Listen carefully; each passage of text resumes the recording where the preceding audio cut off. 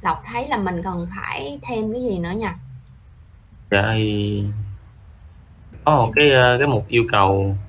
Khoan từ từ cô đang nói thực tế đã rồi mình sẽ bây giờ rõ ràng là khi mà cô mua mua một cái laptop thì cô quan tâm đến cái lap cô quan tâm cái laptop nào nhưng mà rõ ràng cô sẽ nghĩ đến cái hãng. Đúng không em? Cái dạ, hãng sản xuất á ừ. Như vậy thì em thấy ở đây mình chưa có cái hãng đúng không dạ. Ừ, Mà- em phải hình dung chỗ này không? Dạ. Ừ, lọc hình dung chỗ này không? Như vậy thì bây giờ em phải có cái hãng đã. Em có cái hãng thì tại vì khi mà mình thứ nhất nè cái vấn đề đầu tiên mình cần xem xét là gì? Mình bán thì mình phải nhập hàng về. Chưa nói về gì về tới dữ liệu nha nãy giờ chưa nói gì về tới dữ liệu. Vậy thì mình cái hình dung mình bán mình phải nhập hàng về đã. Vậy mình nhập hàng mình sẽ nhập hàng của mỗi hãng đúng không em? Dạ hay còn gọi là nhà cung cấp đi. Mình mình hiểu vậy. Mình mình đưa về nhà cung cấp cho nó dễ. Nhưng mà mình phải hiểu rằng là nhà cung cấp đó có thể cung cấp nhiều hãng nữa. Cho nên em có thể quản lý theo gì? Theo nhà cung cấp hoặc là theo hãng. Vậy thì bây giờ cô dùng hãng đi cho mình dễ hiểu. Được chưa?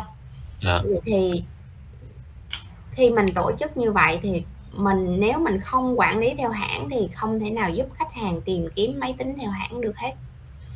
Đúng không em dạ. Ừ, như vậy thì em phải có hãng rồi hãng sản xuất. Ha hay là thương hiệu đó là brand đó tiếng Anh là brand chữ D brander nha. Đó thương hiệu là hãng đó rồi một cái hãng đó nó cũng sẽ có nhiều gì? Suy Ờ, nghĩ tiếp nè. Một hãng thì sẽ có nhiều ờ, các loại máy. Đúng rồi như vậy thì buộc em phải có cái cái dòng máy ha.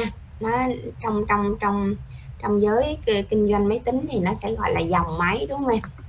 Cái dòng hay còn gọi là line of product á ha. Em kịp chỗ này không? Dạ. Ừ line of product. À, còn cái hồi nãy á, cái hãng là brand. Brand. Kịp chưa? Dạ. ừ, đó vậy thì mình sẽ có hai cái đó. Rồi sau đó mình mới đi xác định từng cái product ở bên trong cái dòng đó. Ví dụ bây dòng bây giờ cái dòng của mình là dòng gì đó? Dòng coi y 7 đi. Cô ví dụ vậy, đúng không? Cô ví dụ thôi nha, của cô đang nói hãng à, hãng đeo đi ha. Hãng đeo và nó sẽ có cái dòng coi y 7 nó sẽ có coi y 7 rồi coi y mấy đó, đại loại là vậy, vân vân. Cô ví dụ thôi nha, nhưng mà cái này em phải tìm hiểu nghiệp vụ chi tiết bên đó họ mô tả như thế nào, một cái sản phẩm ha, để mình đưa vào cho đúng. Vậy thì mỗi cái dòng như vậy em sẽ thấy nó sẽ có tương ứng là gì? Ừm, cái mô tả về cái dòng đó. Ha cái mô tả về cái dòng đó và nó cũng có model khác nhau tức là cái mẫu khác nhau. Như vậy thì mình phải hiểu một cái dòng nó cũng sẽ có nhiều cái model dạ. Nghe kịp chỗ này không? Cũng là coi bảy ha. Cái này chỗ này chỗ này em tìm hiểu kỹ lại trên những cái hệ thống nó bán laptop ví dụ phong vũ hay gì đó hiểu không à, coi nó nó mô tả thế nào hoặc là thế giới di động cũng có ha. Ví dụ như coi 7 nó sẽ có cái model model 1 model 1 là cái máy gì đó ha. Cô, cô gọi sơ bộ thôi nha. Máy số 1 và nó sẽ có một cái giá nào đó hay là nó có thông tin riêng information về nó riêng máy 1 ha. Thì cũng tương tự như vậy mình cũng có coi vậy nhưng mà nó sẽ có một cái model số 2 à, cái mẫu á model là mẫu á mẫu 2 và nó sẽ có là máy 2 máy 3 gì đó nó có nhiều máy trong đó. Hiểu không? Dạ. ừ, vân vân. Đó như vậy thì thì mình mình hình dung được cái này. Hồi nãy giờ cô đang hướng dẫn cái nghiệp vụ để em hiểu đó. Như vậy thì ừ, tới đây tới đây em sẽ thấy rằng là em cần phải theo quản lý theo cái đó là về phía sau của mình đó. Phía sau là gì? Là cái cái công ty mình bán ra. Hay nói đúng hơn là công ty sẽ sử dụng cái trang web em sẽ làm ví dụ vậy thì nó phải có những cái dữ liệu đó để phục vụ khách hàng tìm kiếm và để phục vụ cái việc nhập hàng của mình đã. Hiểu không? Rồi bây giờ Dạ. tới khi khách hàng mua nè thì đang nói tới hoạt động mua đúng không? Hồi nãy giờ cô nói hiểu không? Dạ đúng rồi. Ờ hiểu ha. Bây giờ tới hoạt động mua như vậy mua thì phải có khách hàng đúng không? Đó. Mua thì phải có khách hàng. Có gì? Người. Người bán đúng không? Có người giao không? Có. Rồi. ừ có người giao. Đó đơn giản vậy thôi khách hàng người bán người giao là ba đối tượng. Rồi bây giờ tiếp. Ừ, em cần quản lý theo là ví dụ như khi sản phẩm nhập về ai sẽ là người đưa dữ liệu vào? Ví dụ như vậy thì lúc này phải có người giống như em em đặt là admin. Ừ, tuy nhiên cái từ admin nó rất là chung nha cho nên mình phải cụ thể hóa ra ừ, ai sẽ là người quản lý cái cái dữ liệu về đó. Ha rồi ai sẽ tham gia vào cái việc mua bán này? Bởi vì mua bán thì nó sẽ có thanh toán. Mua thì nó sẽ có thanh toán không? Dạ có. À, nó mua thì chắc chắn nó thanh toán. Các bạn lưu ý cô đang hướng dẫn cái mindset của mình đó để mình hình dung được cái quy trình. Mà khi mình hình dung được quy trình thì mình sẽ có dữ liệu nha. Vậy rất là đơn giản như vậy cứ hình dung trong thực tế thì mình cứ từ từ nó sẽ ra. Mà trong thực tế khi mình đi làm thì mình cũng sẽ hỏi khách hàng như vậy đó. Cái này nó nằm ở bên môn software được khoai mình ha. Nhưng mà cái này cô đang tóm gọn lại để mình hiểu thôi. Cái vậy bây giờ trong quy trình thanh toán thì ai sẽ tham gia vào? Đúng à. không ai sẽ tham gia vào? Đó. Là khách, khách hàng với admin. Ừ, khách hàng nè ai nữa? Admin à. Admin hả? Đó cái từ admin chung lắm. Khách hàng nè. Người bán. Hàng và người bán. Người bán nè. Ai nữa? Sao kê à, nó, cần, nó cần phải có xác nhận của gì kế toán ha yeah. Dạ. ừ, kế toán như vậy thì thực ra người bán nè cô ví dụ cô giả sử thôi nha người bán nó tùy nó tùy tổ chức mình đang học thì mình làm đơn giản thôi người bán người giao nè đúng không em kế toán nè đúng không yeah. Dạ. ba đối tượng này mình gọi chung là nhân viên được không yeah. Dạ. được đúng không được không yeah. ừ. Đó gọi chung là nhân viên và nếu như mình tổ chức trong lập trình hướng đối tượng thì nó là kế thừa đó là người bán người giao kế toán là ba đối tượng kế thừa từ nhân viên nhưng mà ở đây mình đang thiết kế dữ liệu thì mình chỉ cần lưu một đối tượng dữ liệu thôi là gì nhân nhân ừ. viên ừ, hiểu không yeah. Dạ. ừ hiểu rồi như vậy thì ừ, cái đó nãy giờ là cô đang hướng dẫn em cái chuyện là quản lý cái máy tính mình đem về và mình bán ra thôi ha, dĩ nhiên nó còn nhiều nghiệp vụ phía sau đó nữa. Cái chuyện à mình chưa chưa nói tới chuyện là à, khi mà mua thì như xuất hiện cái đó nhưng mà rõ ràng mình mua online. Nãy giờ cô đang nói em là offline. Bây giờ mua online nè. Mua online rõ ràng nó phải xuất hiện cái gì? Dạ tài, tài khoản để đăng nhập. Tài khoản để đăng nhập thì cái đó là giao diện. Không đúng. Nó phải xuất hiện cái gì để chứng thực là cô có mua hàng của em cô có đặt hàng của em à, phải có thông báo gửi qua mail. À, thông báo gửi qua mail nhưng mà gửi cái gì qua email? Cái gì chứng thực là gửi? Làm sao dạ. để biết cô mua cái gì á? Cô đang nói làm sao để biết nè cô mua à, hóa đơn à. đúng rồi nó, nó nó gọi là cái order đó. Hiểu không? Cái order là cái gì? Cái đơn.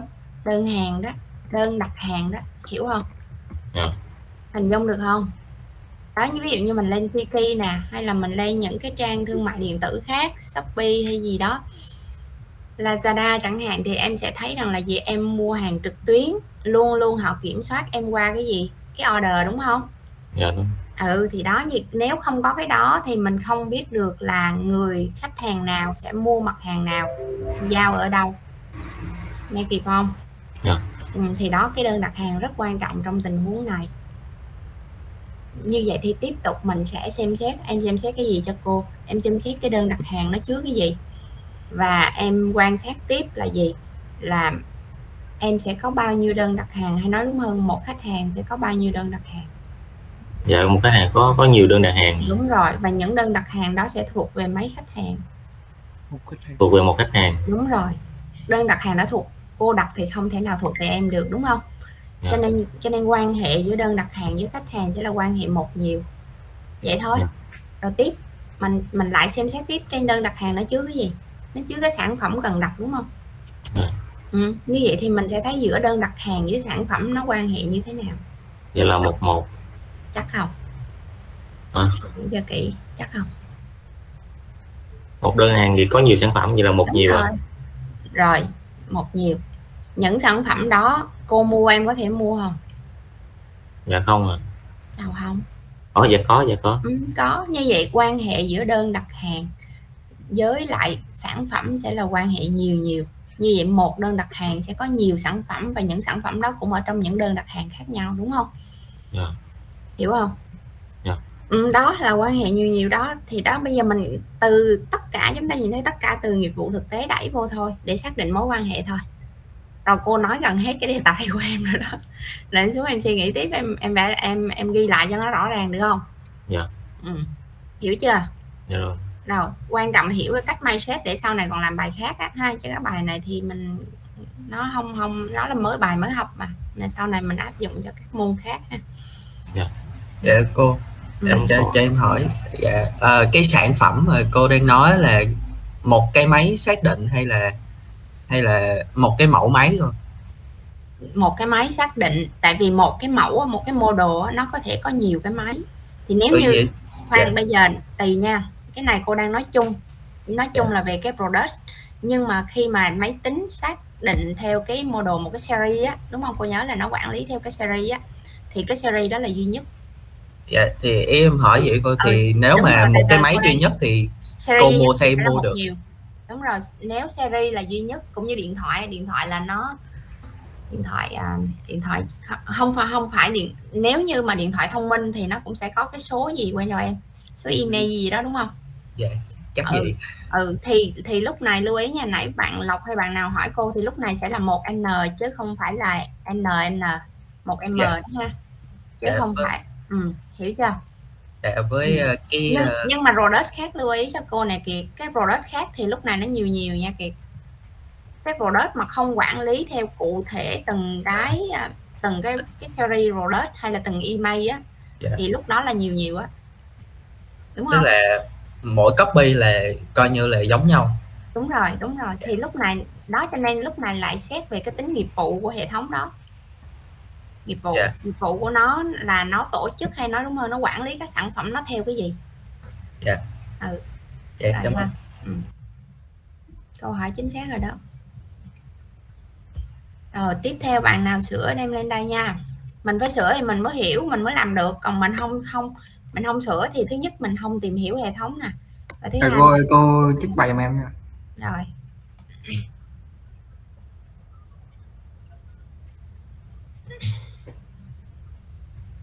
Dạ cô thấy màn hình em chưa cô? đang chạy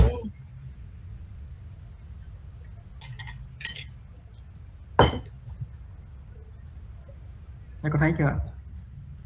rồi kéo cho nó nội dung nó lên trên chút đi quan cho nó dễ xem Dạ.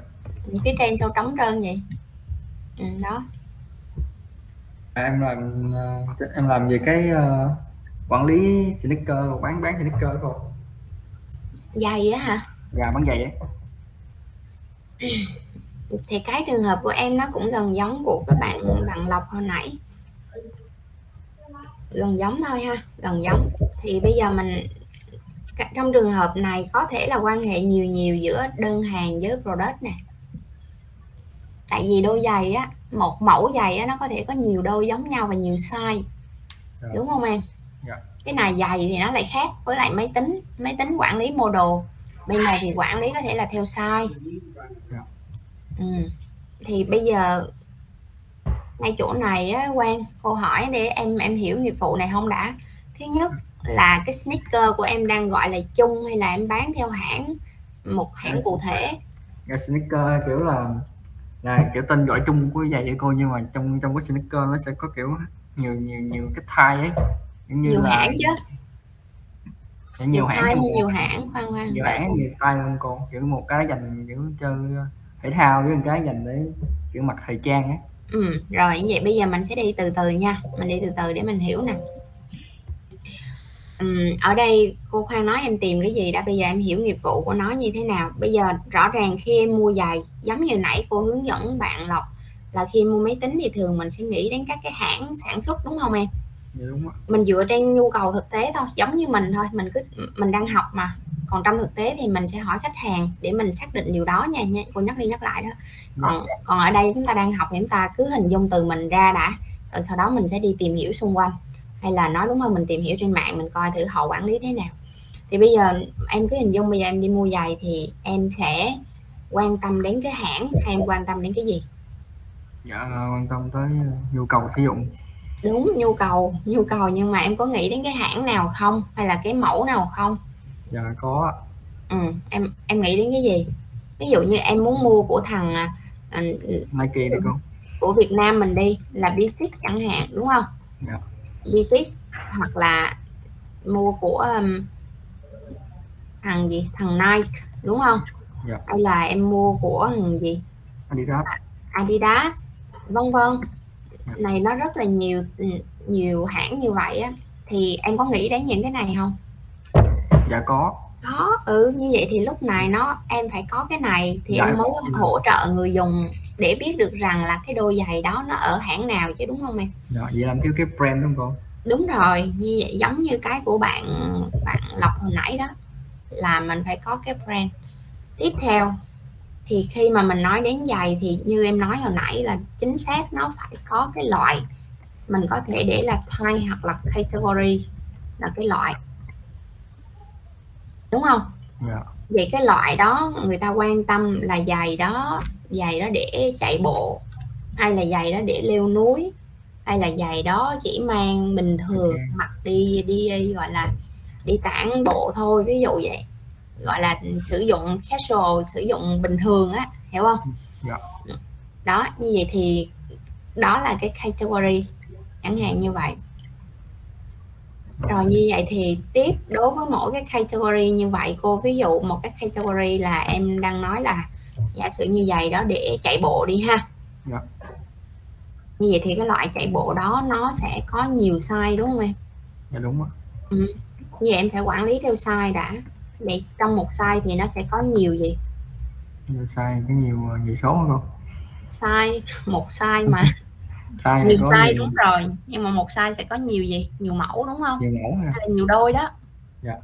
và giày á, thì cô theo cô biết nha theo cô biết thôi thì nó không quản lý cụ thể theo cái cái cái chỉ số hay còn gọi là cái series y như máy tính hay là à, hay là điện thoại. Giày thì nó không quản lý như vậy. Mà nó chỉ cần là gì một cái size đó nó sản xuất hàng loạt bao nhiêu đôi đó thôi. Vì mình nhập về cái size đó với cái mẫu đó thì nó sẽ có 10 đôi. Ví dụ vậy. Hiểu ý cô nói chỗ này không? Dạ hiểu. Hiểu có nghĩa rằng là nếu như cô đặt 10 đôi size S thì em cũng sẽ không phải size S giày nó bán theo số đó. Dạ. size là số đó. Dạ. là số 30 37 đi ha.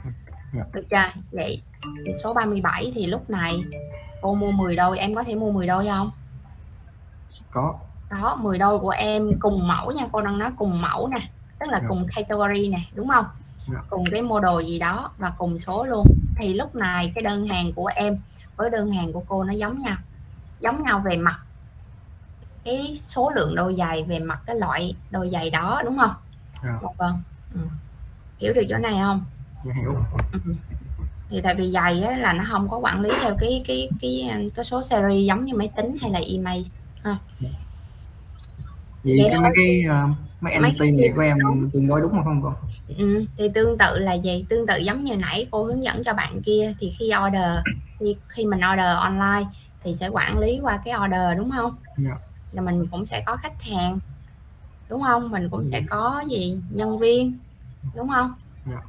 ừ, vân vân. Thì đó mình mình liệt kê ra lại thì những bạn nào cô sửa rồi mình liệt kê rồi thì mình chịu khó mình đi tìm cho cô tiếp kiện này cái này cô chưa giảng nhưng mà ừ, tại vì cái thời gian này các bạn không làm gì, các bạn, cô sửa xong rồi các bạn tìm hiểu tiếp. Ví dụ các bạn tìm hiểu thông tin, hôm qua mình có khái niệm thông tin, thì các bạn tìm hiểu thông tin, ha, information về một cái entity nào đó. Dĩ nhiên chúng ta có nhiều entity, ha, về một entity. Vậy thì cô ví dụ thông tin về một đôi giày, ha một cái đôi giày của mình. Đôi giày thì nó có những thông tin nào? Hiểu ý chỗ này không? Dạ hiểu cô. Ừ đó vậy thì mình cần tìm hiểu mình ghi lại như vậy cô. Ví dụ em có một đôi giày thì em sẽ có thông tin về nó. Ví dụ như là gì? À, size nè nó sẽ là gì? Màu sắc nè nó sẽ có giá nè vân vân hiểu không? Thì đó là những thông tin về một entity mà entity cụ thể đây là đôi giày. Kịp không? Dạ kịp. Ừ. rồi. tiếp đi. Dạ cảm ơn cô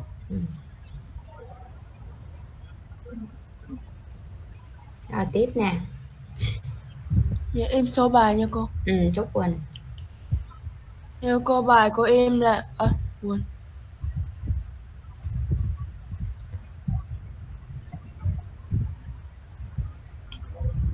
Cô thấy màn hình chưa cô?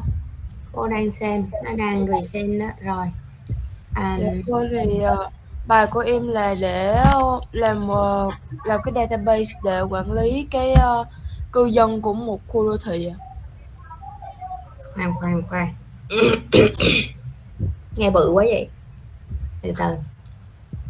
À, quản lý cư dân của một khu đô thị.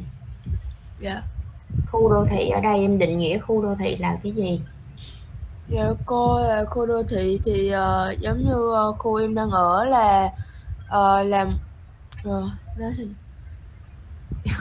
đó là một ờ, ờ, những cái ờ, khu vực mà dân cư á, thì người biết ta rồi để cô nói cho nghe nè.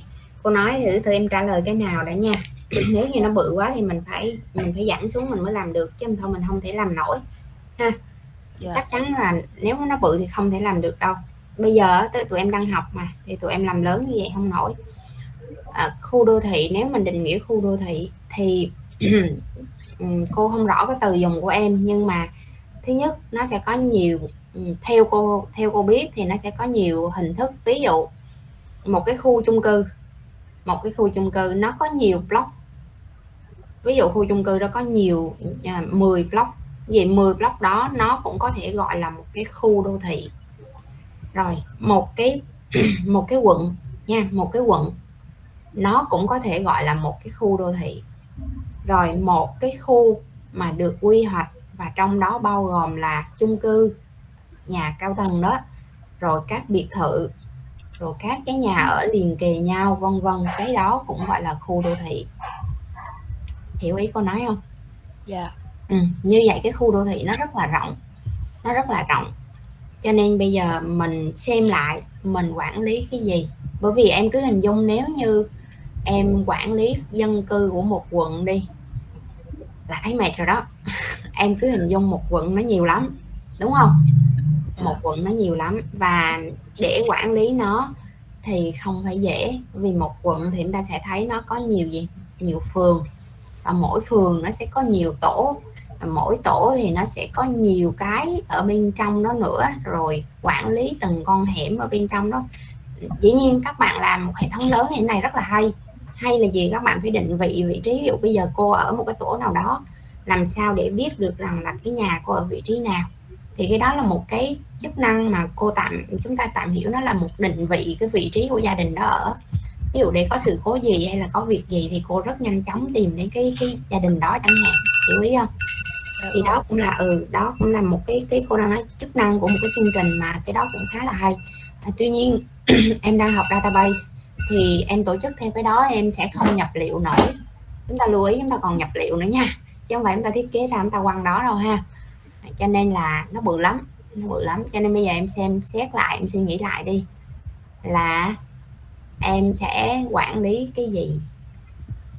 Dạ thì uh, cô đô thị đây là theo uh, như ý cuối cùng của cô nói à, là gồm nhóm uh, quy hoạch với nhau uh, quy hoạch người ta quy hoạch những cái miếng đất với nhau bao gồm có ở khu em thì gồm có biệt thự và các ngôi nhà liền kề. Biệt thự và nhà liên kế. Vậy mục đích của em là em quản lý cái gì ở đó? Dạ thì ờ, như em biết ở đây thì ờ, khi mà cái dịch Covid nó lan rộng ấy à và người ờ, ở Nha Trang em thì khó mà truy vết được cho nên là ờ, khu của em đã quyết định là chỉ cho, cho phép cư dân ra vào chứ không cho những người ngoài đi vào nữa. Thì em nghĩ là lúc này cái database này sẽ dùng để xác định xem những ai có thể ra vào trong khu đô thị ạ. xác định ai có thể ra vào trong khu đô thị. Bằng cách nào? Dạ thưa cô là bằng ờ, thứ nhất là xác định danh tính của người ra vào và thứ hai là còn phải xác nhận qua cả ờ, xe ra vào. Nếu như mà ờ, nếu như mà kiểu đông quá hay gấp quá. ừ.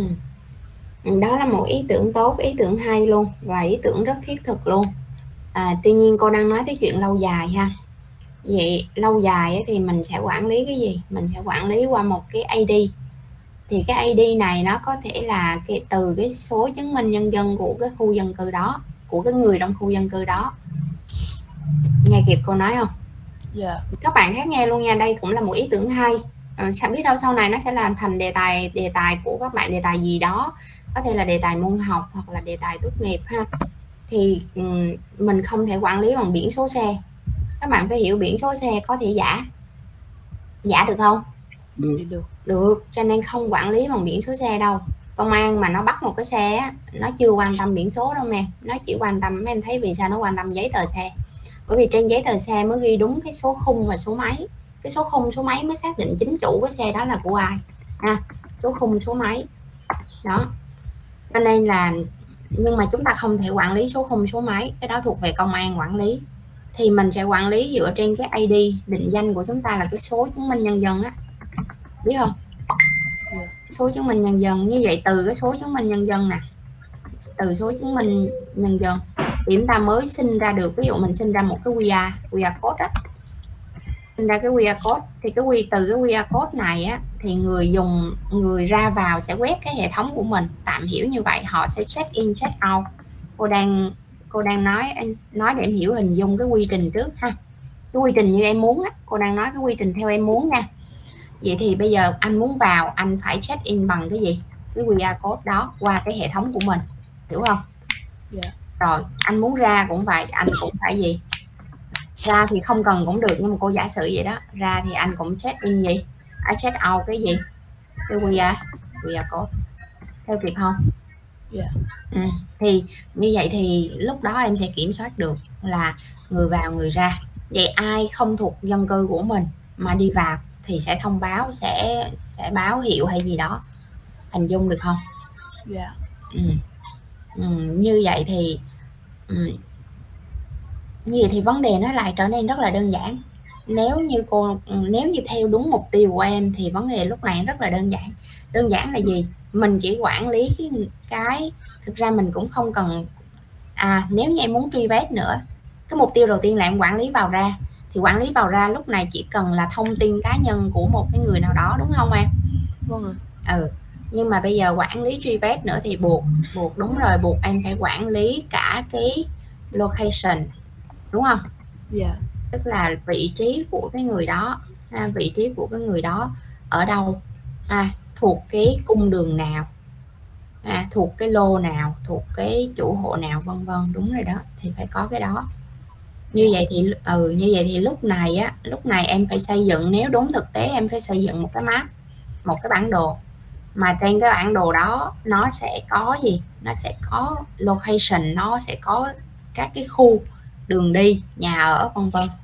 Thì à, nó mới trực quan được. Hiểu được không? Dạ.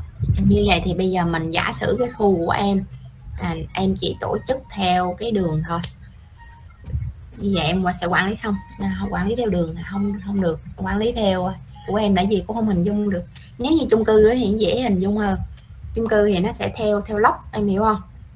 Dạ, thì của em là ở đây là nó khu đô thị thì nó sẽ khá là lớn và nó sẽ chia ra làm nhiều gói và mỗi gói thì sẽ có những người quản lý riêng của cái gói đó luôn.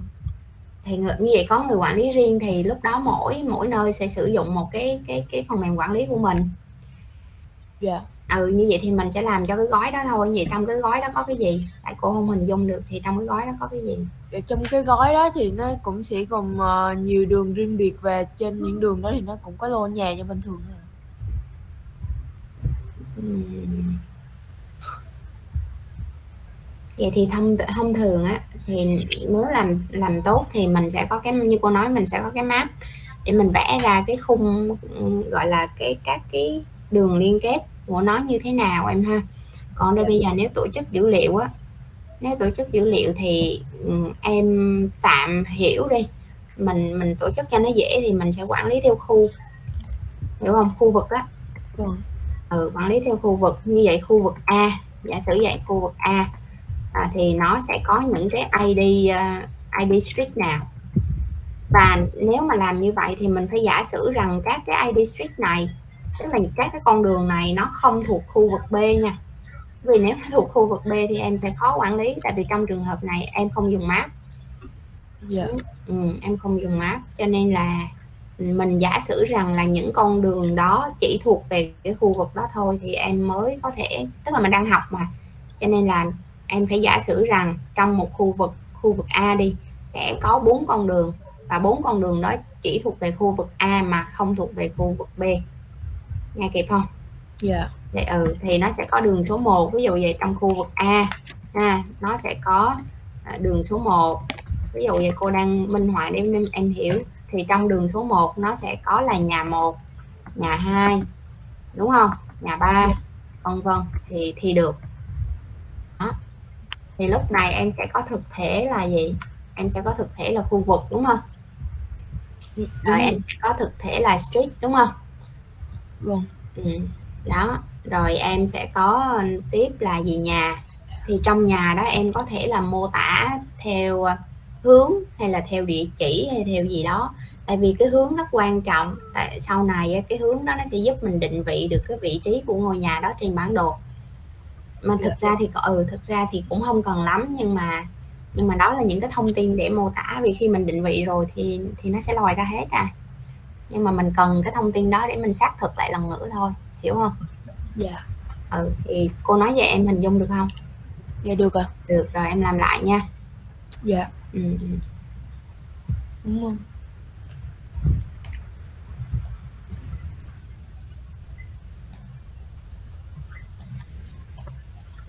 Rồi tiếp đi mấy em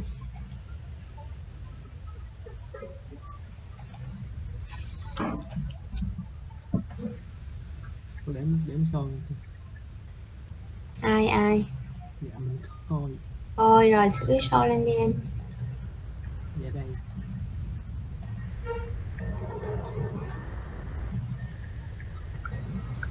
Rồi bán đồng hồ.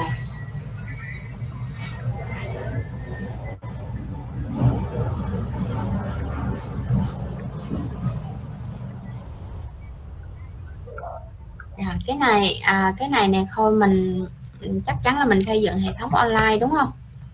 Dạ. Ừ như vậy thì mình phải có cái đơn hàng giống như nãy cô giải thích hai bạn mà liên quan đến bán hàng đó. Dạ. vậy mình phải có cái order ha. Dạ.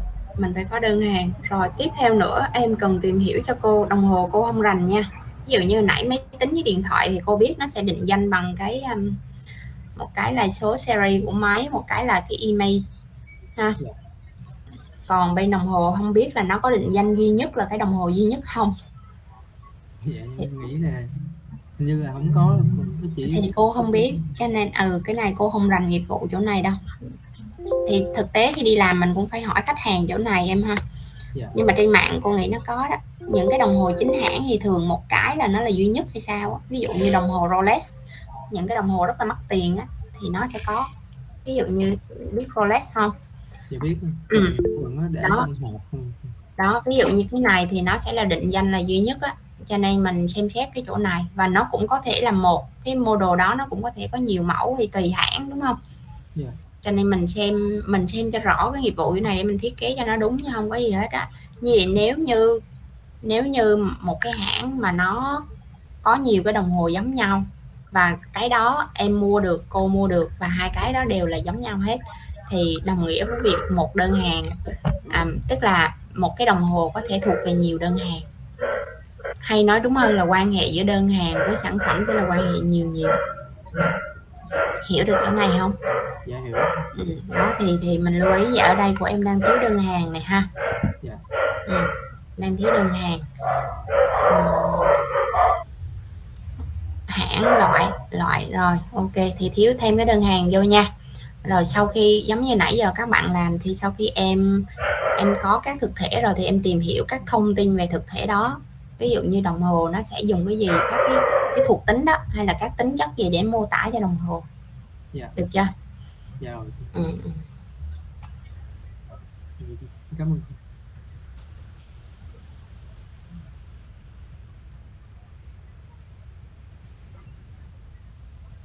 Cô em show cho cô. ừ sao lên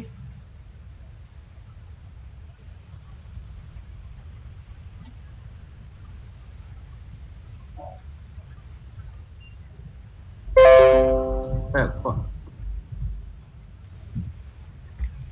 rồi. Ừ, cái này đặt vé gì em? Cái xe cô. đặt vé xe. Vé xe khách đó hả? Vâng. Xe khách bình thường thôi đúng không? Vâng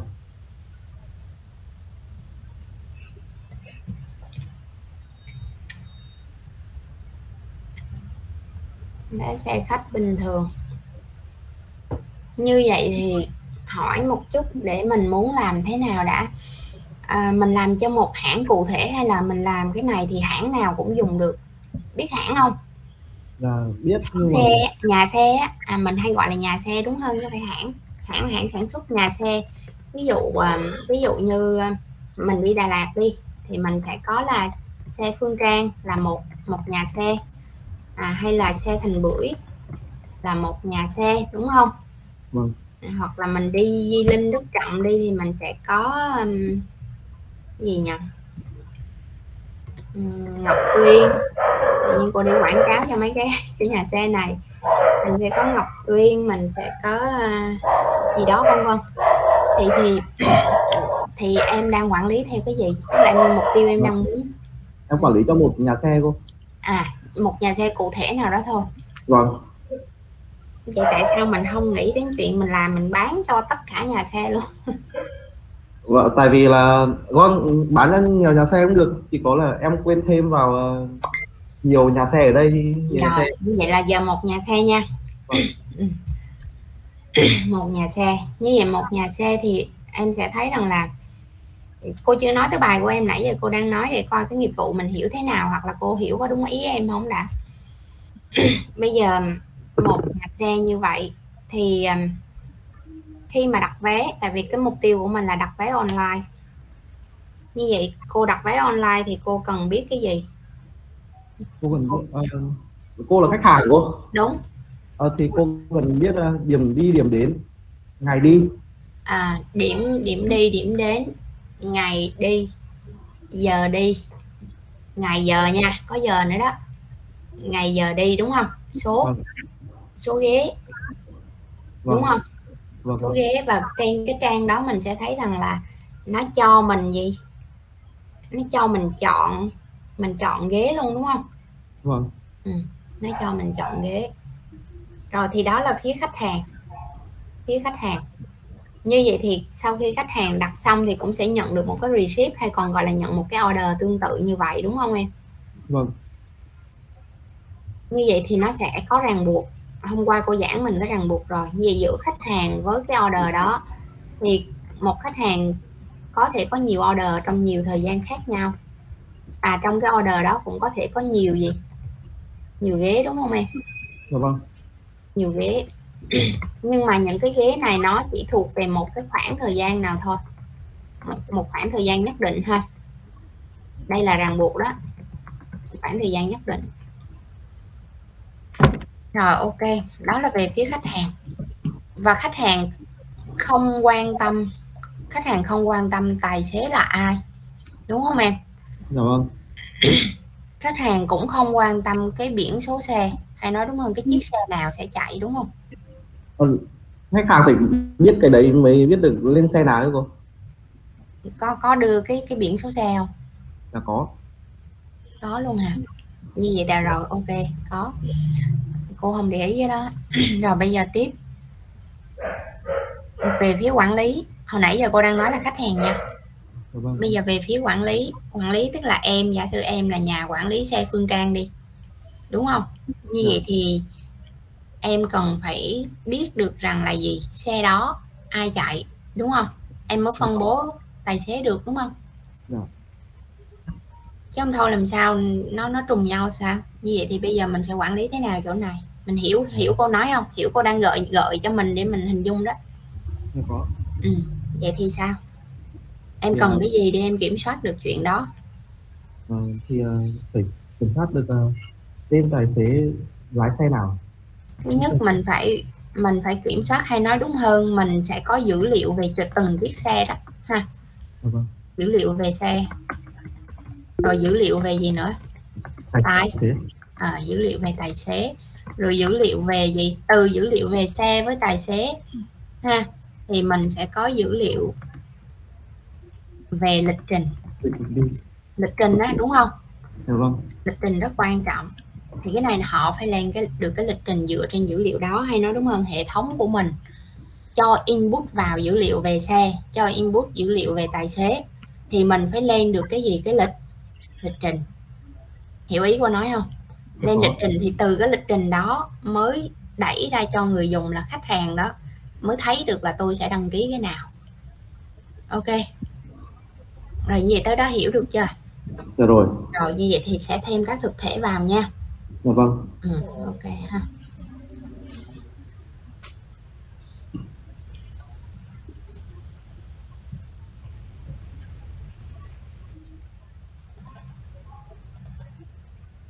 Cho mình có thể tắt present ha, để bạn khác.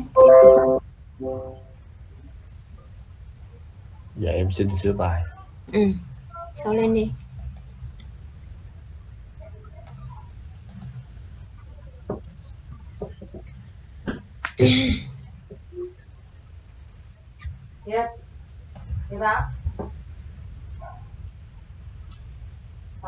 nào quản lý chăn nuôi ừ, anh để học cái để cô ngồi cô nhớ chăn nuôi. Hồi bé thì cô biết hồi cô còn rất nhỏ. Nhỏ cũng phải rất nhỏ. Hồi cô khoảng học cấp 1 thì thì thì ở quê của cô cũng có một cái hợp tác xã chăn nuôi thì sau lớn lên cô đi học thì thì không còn nữa. Nên lâu quá rồi để giờ nhớ lại coi. Dạ. mình đang chăn nuôi đang là chăn nuôi gia cầm hay gia súc? Em gia súc gia cầm luôn cô. Em làm chung chung với cô. Chung lưu ý nè. Cái này mấy em hình dung luôn sau này mấy em làm hệ thống cũng vậy á. Tức là mỗi loại nó sẽ có cái đặc thù khác nhau. Ví dụ ví dụ nha mình nuôi gia cầm mình nuôi gia cầm thì mình sẽ thấy là gì? Cái nguyên liệu hay còn à, dùng nguyên liệu không đúng? Thức ăn. Thức ăn cho gia cầm nó sẽ khác. Thức ăn cho gì? Gia súc. Gia súc. Mà gia súc mà bò với heo thì thức ăn cũng khác luôn đúng không? Dạ. Hoặc là gì? Cừu dê à, rồi gì đó. Rất nhiều loại con. Tại vì thì dê họ cũng nuôi lấy thịt mà à, dê cừu cừu họ nuôi để cũng vừa lấy thịt vừa lấy lông gì đó em cũng khác nhau. Dạ. Đúng không em? Dạ đúng. Ừ cho nên em dùng cái từ chung thì nó sẽ rất lớn. Nó sẽ rất lớn. Thì cô không không phải là cô ngăn cản mình làm đâu nha không phải nhưng mà cô đang hướng dẫn để mình hiểu. Mình hiểu cái gì mình định hình được cái scope của mình. Cái scope là cái phạm vi á phạm vi Dạ. mình sẽ làm. Cho nên khi mình làm bất kỳ cái đề tài nào sau này mình đi làm ở bên ngoài cũng vậy thì cái scope rất quan trọng. Mình đi làm bên ngoài cái scope này chính là cái để mình lấy tiền. Họ nói bây giờ họ họ có một cái trang trại rất lớn họ vừa muốn nuôi gà nuôi vịt nuôi thỏ nuôi um, gì nuôi bồ câu nuôi chim cút nuôi um, gà à, gì nuôi bò nuôi trâu nuôi n thứ. Em hiểu không? Dạ như hiểu. vậy thì một cái phần mềm mà làm để quản lý n thứ như vậy tiền nó sẽ nhiều gấp n lần so với phần mềm làm quản lý một loại thôi. Dạ. Hình dung được chưa? Dạ. Đó là trong thực tế. Cô đang nói về tiền các bạn nha. Nó tại vì rõ công việc của mình nó nhiều lên. Công việc của mình nó nhiều lên ha. Còn bây giờ mình đang học nè. Như vậy thì nếu mình làm như vậy thì nó sẽ rất là bự. Nó rất là bự. Nó bự thì em sẽ sẽ khó khó cái gì? Ví dụ tại môn này cô đang nói môn này trước. Tại môn này thì em sẽ khó đưa dữ liệu vào. Nhiều quá mà. Dạ. đó còn nếu như qua môn khác thì lập trình em sẽ không giải quyết hết. Cho nên cho nên mình sẽ chọn loại là gì? Mình xây dựng quản lý chăn nuôi mà chăn nuôi gia súc. Mà cụ thể gia súc đó là loại gì luôn? Dạ. Ừ. đó ví dụ như vậy. Gia súc nó gồm là trâu với bò. Ví dụ vậy là hai có hai thứ thôi. Vậy thì trong đây em có chia ra cái category là cái cái loại á cô? Vậy là phải chia rõ là nó con category loại dạ là giống như là heo bò rồi lợn heo bò với lại dê rồi với con. Là chia ra kiểu đó. Nó cần chia rõ ra không con? Chia chứ. Vậy tại vì em biết sao không? khi mà khi mà họ bán á khi mà họ bán á, không không em không phải chia không phải chia tại là gì heo bò hay là gì dê. Dạ. đó cũng là gia súc nhưng mà nó là dữ liệu. Em để chữ category là đủ rồi đó dạ. Hiểu ý con nói không? Em dạ hiểu dạ category mình là đúng rồi nhưng mà mình phải hiểu trong cái category đó sẽ chứa dữ liệu về bò heo à, à, với lại dê với gì đó. Hiểu Dạ. chưa? Dạ hiểu. Ừ, đó. Rồi như vậy thì cái castle đó em không cần nữa. Dạ rồi. Đúng không? Dạ còn đúng. nếu như á còn nếu như mình quản lý rộng như nãy cô nói thì cái castle nó mới cần. Nhưng mà nếu mình quản lý rộng á thì nó sẽ ảnh hưởng cô nói luôn cái lớn của nó vì sao nó lớn như vậy? Bởi vì mình quản lý cái castle đó nữa thì liên quan đến chuyện là thức ăn bởi vì quản lý chăn nuôi mà. Có nghĩa Dạ. là quản lý thức ăn nhập về thì mỗi cái castle sẽ có những cái loại thức ăn khác nhau thậm chí cái cách thức chăm sóc khác nhau. Dạ. đúng không? Dạ và kể cả là dùng từ thu hoạch đi ha tức là thu hoạch khác nhau. Thu hoạch là là khi mà họ tới tới ngày tới tháng họ thu hoạch để họ bán đó Dạ. thì nó cũng khác nhau nữa cho nên mình bỏ bớt đi để nó gọn lại nó nó nhỏ lại. Dạ thì rồi khi nó ừ thì bây giờ mình sẽ tập trung vào gia súc thôi ha. Rồi cái category. Ừm, như vậy thì cái cái stone của em là cái gì vậy ta? À, cái chuồng á cô. Ừ, cái chuồng rồi. Ừm, cái chuồng một cái stone. Ủa làm sao một chuồng mà có nhiều cái category ở trong đó được? À, lúc đầu em để là một chuồng thì nó có nhiều cái ờ, số lượng cô. Có number của cái ờ, của cái ờ, gia súc á. Em để castle nhưng mà bỏ castle để em để category là cái là để thành một cơ nhỉ? Không. Cái cái cái lúc này cái một cái category nó sẽ có nhiều cái stone này nó đúng không đúng không em? Tại vì À, cái chuồng cái chuồng của con heo á cái chuồng của con heo nó sẽ khác với cái chuồng của con dê. Ví dụ vậy. À, à. Rồi. phải không? Dạ đúng rồi đúng rồi. Nên hiểu rồi. Cái đó sai hiểu sai. Ừ. rồi. Tiếp theo nữa là gì? Ừm, cái category có một ID đó thì không cần cái đó mình sẽ nói trong cái phần mô tả dữ liệu ha Dạ. mô tả thực thể đó từ từ đi. Bây giờ tiếp mình đang đi tìm thực thể thôi nha mấy em cái bài này đang đi tìm thực thể thôi ha. Ờ, category sexual intercourse có nghĩa là sao nhỉ? À, em em em cái đó giao phối cô. Đó thấy chưa? Thêm cái phức tạp này nữa. Dạ bỏ thôi cô.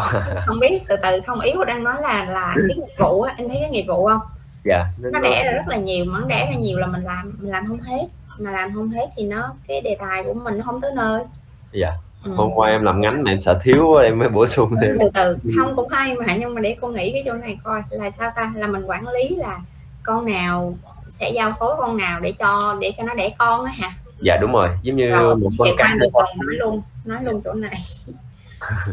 Nói luôn chỗ này để mình mình mình hiểu vấn đề sau này mình mình định nghĩa cái scope cho mình đó. Dạ. mình sẽ thấy nè bây giờ một cái trại mà chăn nuôi lấy thịt nó sẽ khác với một cái trại chăn nuôi mà sinh sản. Dạ. Như vậy bây giờ quản lý chăn nuôi này là để sinh sản hay để lấy thịt? Đó. Nếu vừa sinh sản vừa lấy thịt thì nó sẽ lớn hơn chắc chắn rồi. Dạ. Nó sẽ lớn hơn là chỉ quản lý việc chăn nuôi lấy thịt thôi hoặc là chỉ quản lý việc chăn nuôi sinh sản thôi dạ và như làm. cô biết luôn như cô biết trong thực tế thì nó sẽ có những cái trại nó chỉ làm công việc đó thôi. Tức là nó quản lý tất cả những cái con thú đó à, con con gia súc đó. Nhưng mà quản lý ở việc gọi là tạo ra mầm móng á, tạo ra các cái con cái con con để bán cho những cái cái trại mà trại chăn nuôi lấy thịt. Hiểu ý không? Dạ nhà em cũng chăn nuôi nên em, em kiểu cái này là em định áp dụng với những cái kiểu trại chăn nuôi nhỏ coi người ta thường là sẽ vừa đẻ xong rồi lấy cái cái cái giống nó nuôi luôn đó cô. À, là trại chăn nuôi nhỏ thôi đúng không? Dạ đúng rồi. Là vừa tức là tự tự giao phối để lấy ra con rồi lại nuôi tiếp. Dạ đúng rồi. Rồi để xúc, ờ, xúc à, từ chính xác là không phải thu hoạch mà là xúc xúc trùng xuất chuồng đúng à, rồi. từ xúc trùng mình nhớ rồi từ xúc trùng rồi. Thì thì rồi ok. Như vậy thì mình phải ghi là quản lý trại chăn nuôi dạ. Gia đình hay là trại? Nó đúng hơn tại vì nếu mình không để như vậy thì đó giống như cô cô vừa phản biện với em thì nó sẽ khác. Dạ rồi. một cái hệ thống trại chăn nuôi lớn mà vừa giao phối thì đồng, đồng ý nó cũng sẽ có những cái trại vừa hai chức năng đó nhưng mà em em sẽ làm không nổi đó. Em sẽ làm không nổi. Thôi được rồi cho luôn đi. Rồi như vậy thì thực ra làm gia đình được thì sẽ áp dụng cho cái lớn được ừ, bây giờ giao phối chỗ này khó quá ta không hình dung được chỗ này sao ta?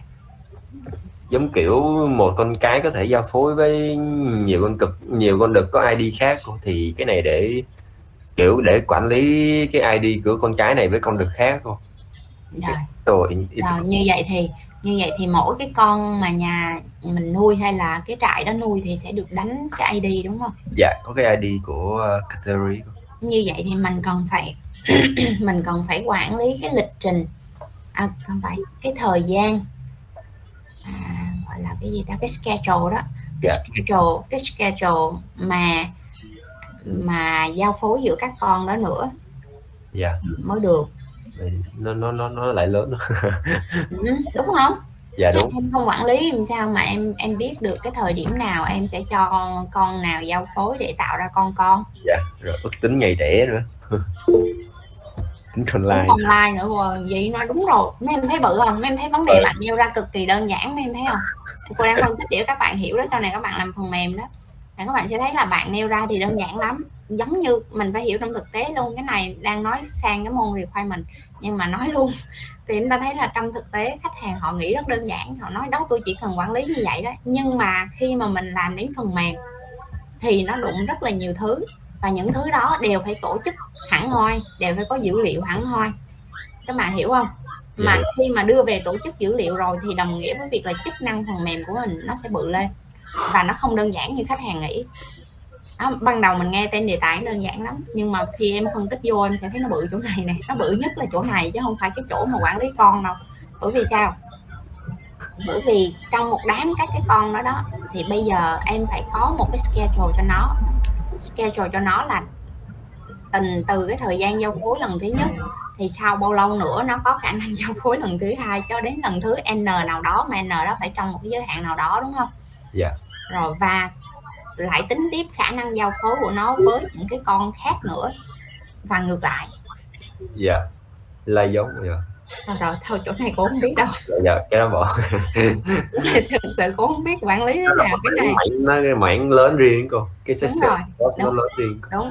Thì thì cái này là nếu làm thực tế thì phải đi hỏi cái người những người nuôi trồng ờ, những người chăn nuôi đó họ nói mới rõ thì mới có thể thì em có thể rành hơn cô chỗ này mà cô không rành chỗ này là cô chịu đó cô không biết đâu. Dạ dạ. Rồi tôi như bỏ qua chỗ đó. Cô ơi cho em thắc mắc tí được không cô? Được. À, em thấy ở chỗ entity có cái chỗ quay là cân nặng đó cô. Đâu? Không phải entity. Thế cái đó cô hồi nãy giờ cô đâu nói tới bạn kệ bạn bạn làm dư mà. Cô đang cô đang nói từng cái hiểu ông ờ, Tuấn Kiệt là cô đang Dạ, nói từng cái từng cái gì? Từng cái cái nghiệp vụ. Cô đang nói từng nghiệp vụ và những cái thực thể nãy giờ cô đang gợi ý cho bạn là liên quan đến nghiệp vụ cô nói. Và nãy giờ là mới phân tích cái nghiệp vụ là quản lý cái đám con đó. Đám con thú đầu tiên vô và nghiệp vụ thứ hai đang đụng đến của bạn là nghiệp vụ đang đụng đến là giao phối. Thì Dạ. cô bó tay cái nghiệp vụ này nên bỏ qua luôn. Được chưa? Rồi Dạ. bây giờ tới ờ, như vậy thì thì thôi bỏ bỏ bỏ cái chỗ này đi đi em bỏ cái chỗ này có nghĩa rằng là sao? Bây giờ em chỉ quản lý là chăn nuôi lấy thịt thôi. Dạ rồi. Tại vì á khi mà nói đến chuyện giao phối để sinh con thì nó phải là một cái mô đun khác nữa đó. Thì giống như cô nói hồi nãy ban đầu á là mình sẽ thiết lập cái trại đó là trại nuôi lấy thịt. Hiểu không? Hay là Dạ. nuôi để sinh con. Được chưa? Dạ.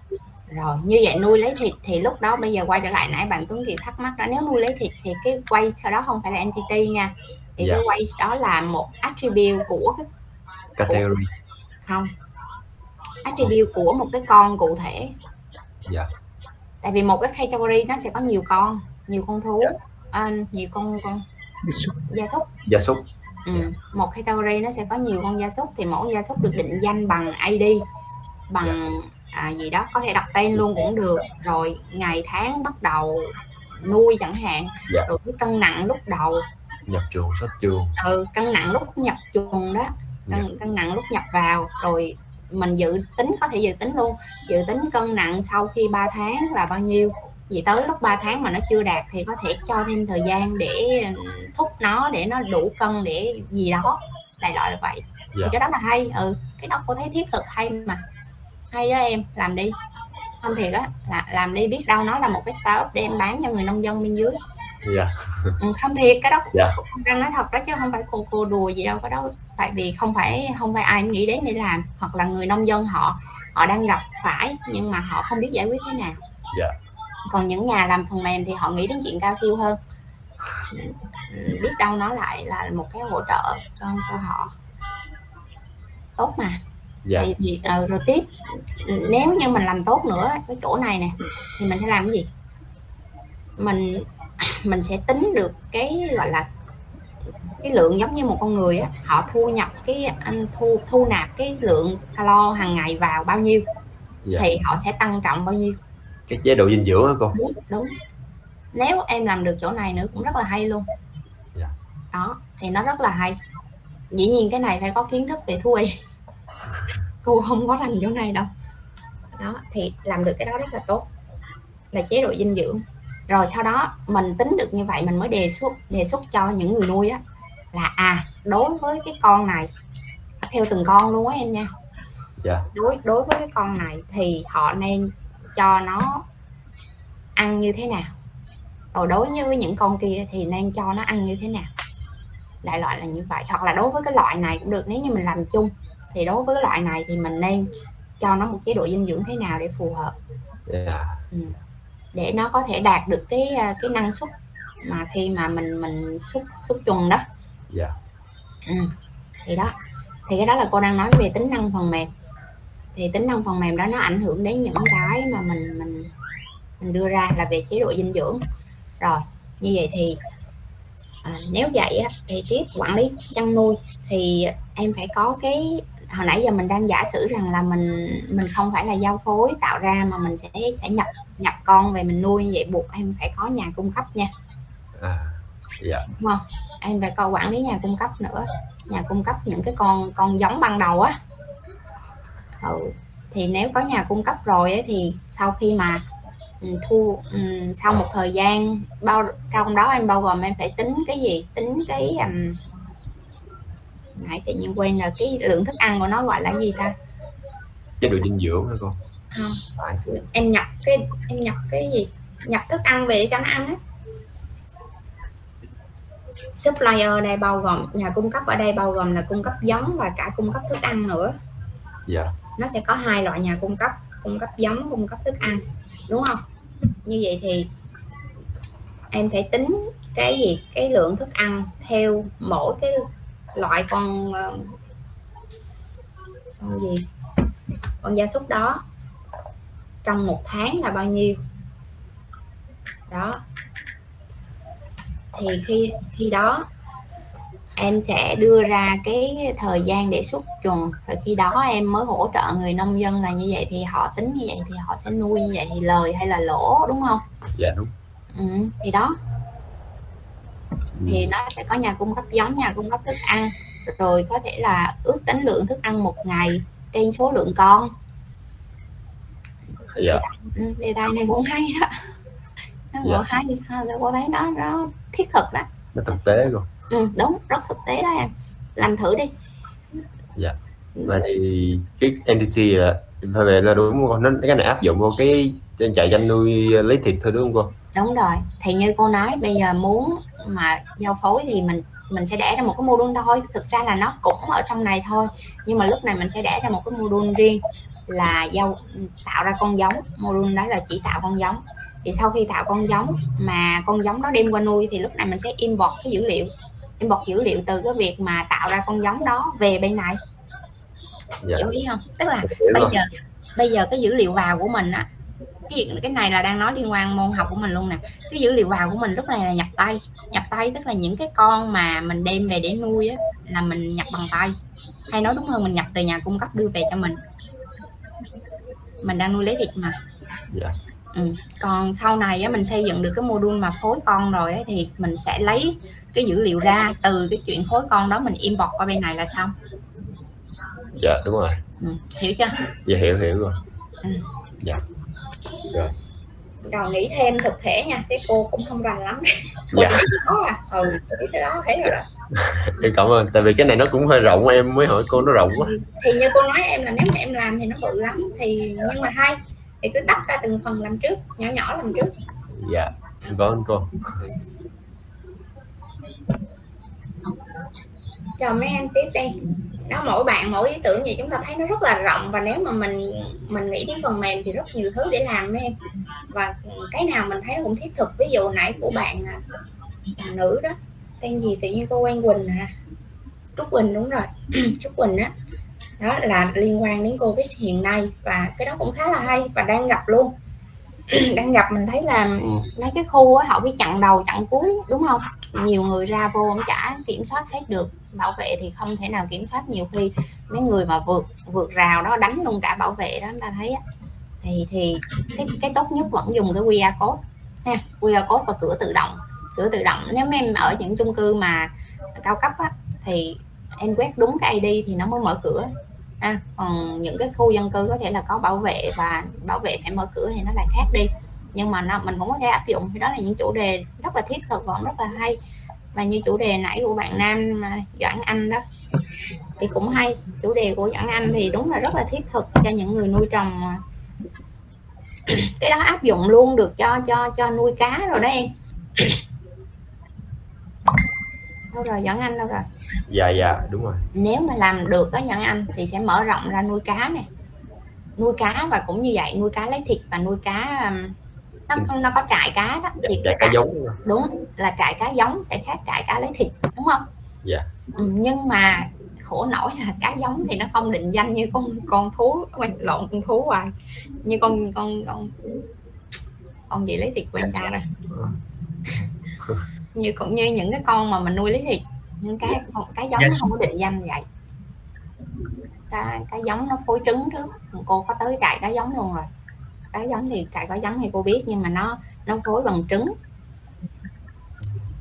Nó nó làm rất là kỳ công. Nó sẽ nó sẽ mua những con cá giống rất là khỏe về nó sẽ cho cho đẻ trứng. Cho đẻ trứng và nó sẽ phối nó sẽ phối trứng với nhau để nó tạo ra các cái con cá con đó thì thì không có định danh họ bán trên cái lượng con cá con thôi ha. Rồi tiếp đi. Em đâu cô? Ừ.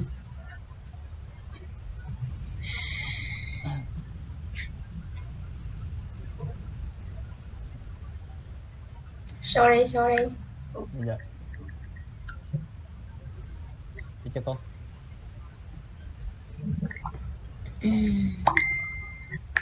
ở đây thấy Sơn đang làm gì liên quan đến cá nè? Ví dụ gì đây Sơn? Dạ em quản lý kiểu uh, uh, vừa quản lý chăm sóc vừa bán cá trong bể cô. Quản lý chăm sóc cá này cá gì? Dạ, cá nuôi thôi cô. Cá nuôi là cá cảnh đó hả? Dạ có thể vừa thịt vừa cảnh gì được cô. Ồ khác rồi. Đó thì nãy giờ nghe cô phân tích với bạn mình với chăn nuôi đó thì mình sẽ thấy là gì cá cảnh thì thì khác mà cá nuôi thịt thì khác.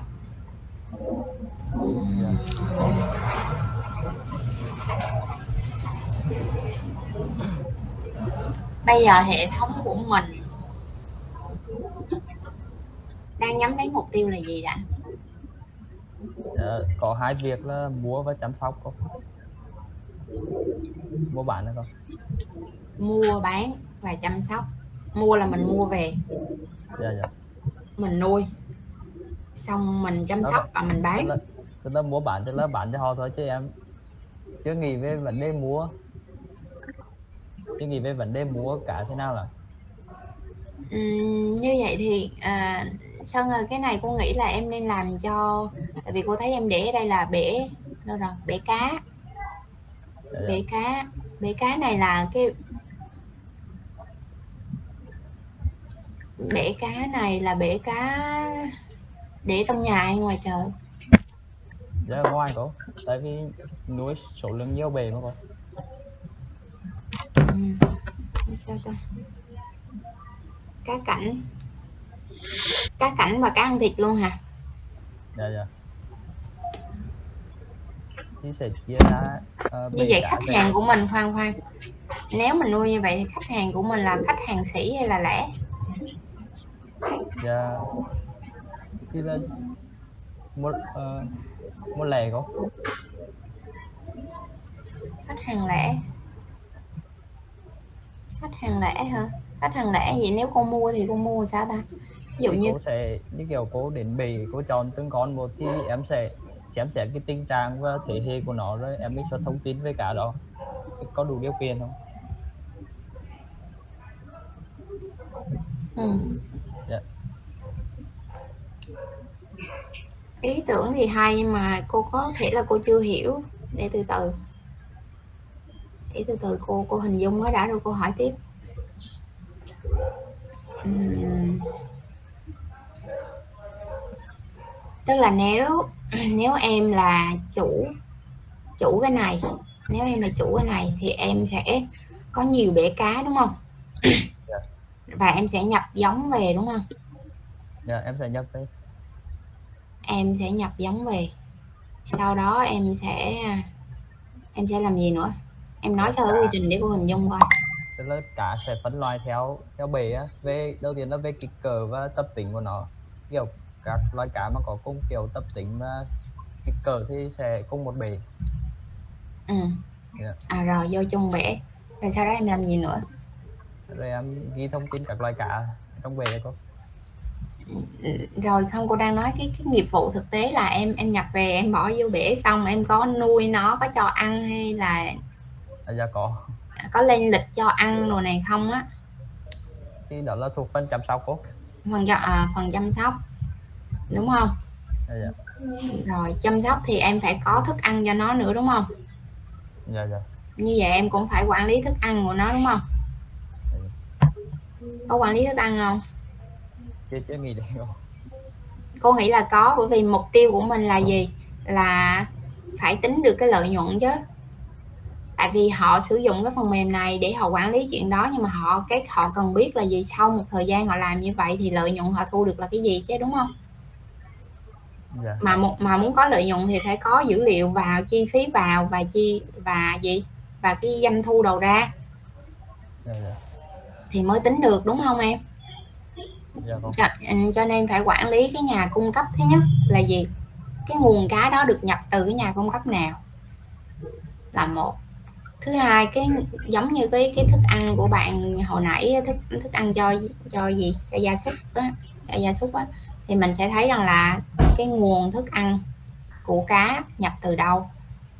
Giá cả ra như thế nào? Nó phải có ha. Giá cả chỉ là cái thông số thôi nha parameter thôi. Vì mình sẽ có nhà cung cấp nè nhà cung cấp sẽ có hai loại là nhà cung cấp thức ăn và nhà cung cấp giống. Rồi mình sẽ có người chăm sóc cá đúng không? Mình sẽ có loại cá đúng không? Dạ. rồi bây giờ trong loại cá đó mình có quản lý cụ thể con cá nào không?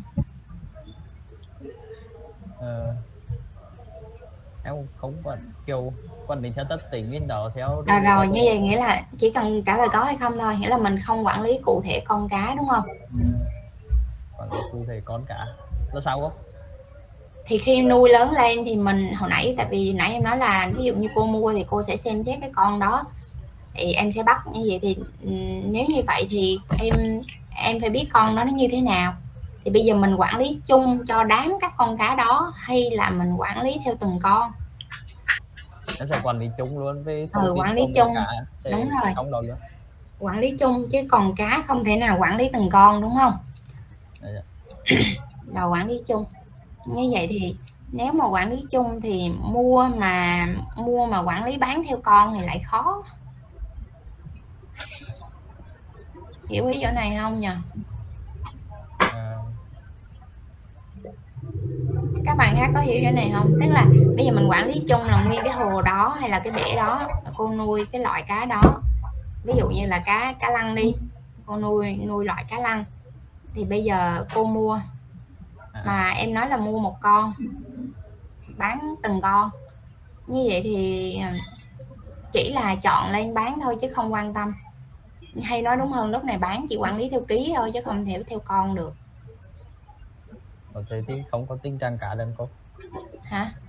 Thì không thể quản lý được kiểu tình trạng với à, thế hệ luôn đúng không thế hệ thì được. Thế hệ là ví dụ em nuôi cái cái thế hệ đó thì thông thường á, em ước tính cái thế hệ đó thì nó cái trọng lượng nó sẽ là bao nhiêu đúng không Dạ, vâng. ví dụ thế thế hệ thứ nhất cô ví dụ như thế hệ thứ nhất là ngày ngày vào của nó là ngày hôm nay và em ước tính hai tháng sau thì cái cái trọng lượng cá nó sẽ là 3 kg cô ví dụ vậy thì được Thì em em quản lý thêm một cái cái là uh, cái cụ thể á, thì thêm một cái cái trong cụ thể đó là tình trạng cả thôi thì vẫn tính được đúng đúng không? Tình trạng cá thì thì à, tình trạng tình trạng cá nhưng mà khi mà bắt lên á, ý cô đang nói khi bắt lên con cá nó sẽ khác với những cái con gia súc. Con cá là gì? Là em bắt lên, em cân, không đủ em thả xuống, ví dụ vậy. Rồi em bắt lên, em thấy đủ thì em giữ lại, ví dụ như vậy. Thì lúc này nó sẽ dựa trên cái gì? Cái cá thể của mình là cái tổng số ký Dạ, dạ hình dung Ờ, không nếu giả sử như em bán luôn cả con thì em không có bán kỹ sao cô? bán luôn cả con Dạ, bán luôn bán, bán luôn cả con em tính theo con hả dạ dạ. Rồi sẽ quý giá sao cô? ai biết cái này của đâu biết đâu Dạ, em sẽ bán theo cả con với quý theo giá.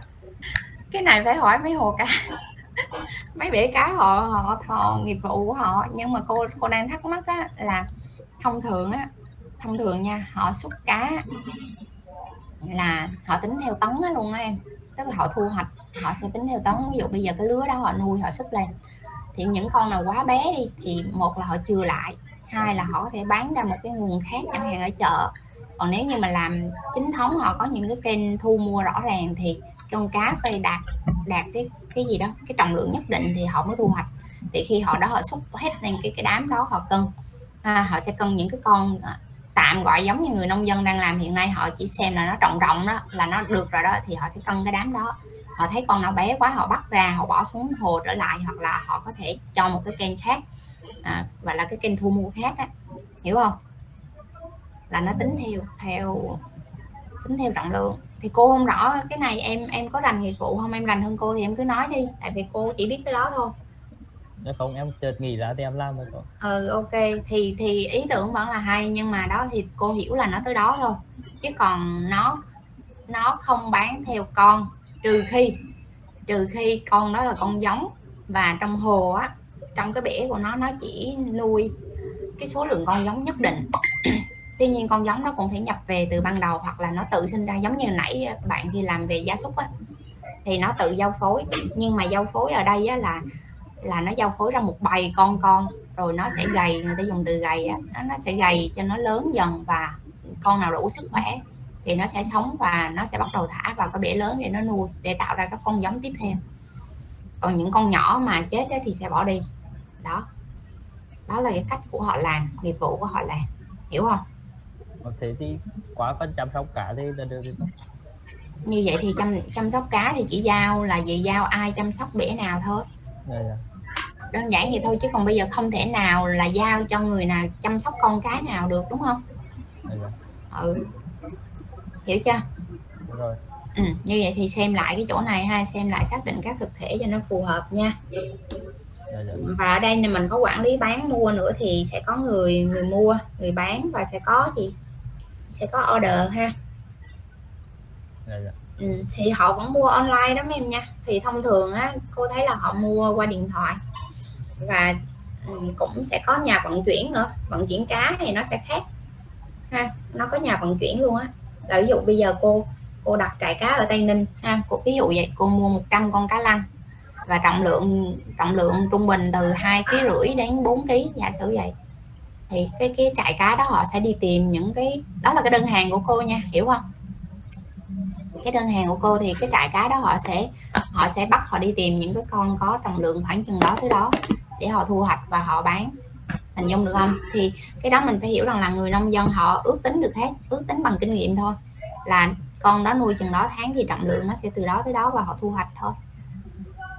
Thì mục mục đích của mình xây dựng, mình phải hiểu mình xây dựng hệ thống này để làm gì? Để cho cái người, không phải người trực tiếp cho ăn hay là người trực tiếp thu cá đâu, mà cho cái người quản lý cái cái trại cá đó. Hình dung được không? Người quản lý trại cá đó họ biết được là bể nào hay là cái cái hồ nào đã được thu hoạch hồ nào đã được bán sản lượng của mỗi hồ ra làm sao thì ok. Cho nên mình phải xác định rõ mục tiêu mình làm để làm gì và làm cho ai thì mình sẽ tìm ra được vấn đề. Theo kịp cô nói không sơ Hiểu tâm tàm thôi cô. tạm hả? Dạ, dạ.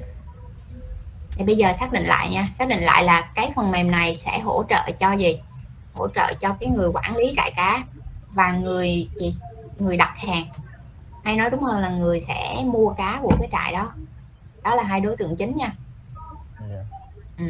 đó thì cái người quản lý trại cá họ muốn biết cái gì cái bể đó ban đầu lượng nhập vào bao nhiêu. Ví dụ vậy thức ăn cung cấp cho nó là bao nhiêu rồi xuất ra sản lượng thu được là bao nhiêu đúng không? Doanh thu là bao nhiêu đó rồi lời lỗ sau đó rồi tiếp theo người quản lý cũng muốn biết rằng là gì